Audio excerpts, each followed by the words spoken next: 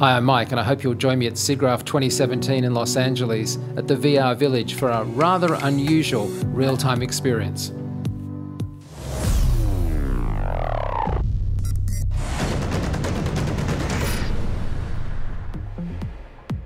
Okay, so I'm in the ICT light stage, and there are about 14,000 LEDs in here, which is, you know, quite a lot. Luckily, they're not all on.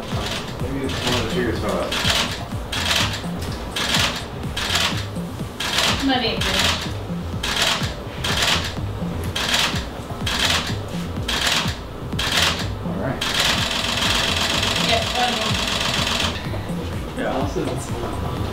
Next, as you're looking down, volume is Plugged in. mo- so it's mother.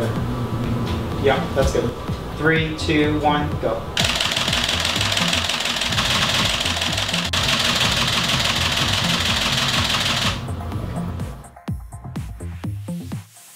We're here at ICT. Uh, we are doing another scan of a, a new subject. Uh, Mike Seymour is here and has volunteered to be our subject. So it's really an ability for us to try new things and to look at new ways of scanning people and seeing what we can do with that, the new set of data that we're going to get out of this. I'm really excited about this. This is, I mean, we can use this data now and we can see stuff. I think that just one day of shooting is going to be years worth of material for us I to agree. use. Uh, and we'll be able to, the fact that we can share it now with everyone as well is huge for, for, for the cause of what we're doing with the community. So, yes, I'm really excited about that. So just to be absolutely clear about that, that's non-commercial use. That excludes use of me in pornography.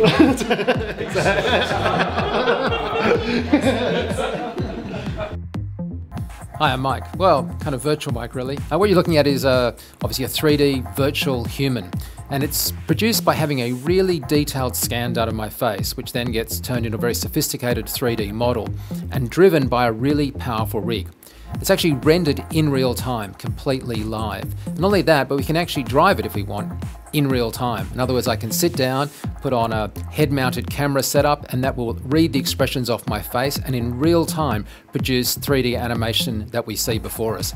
It's a remarkable collaboration of a whole lot of researchers and companies from all over the world coming together to see what we can kind of do in terms of virtual humans. Now let me ask you this: How am I looking to you in terms of? Do you? I mean, you know me very well, right? Like, does it look like me? Does it feel like me? How is it unsettling?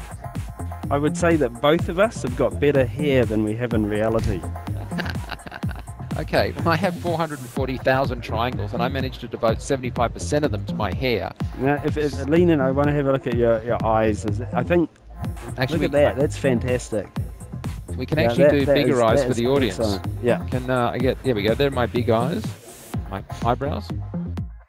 No, it actually, I'm, I'm, I think, uh, especially the virtual reality experience of this, which is hard for the people watching the monitors to tell, is, is I think it works pretty well.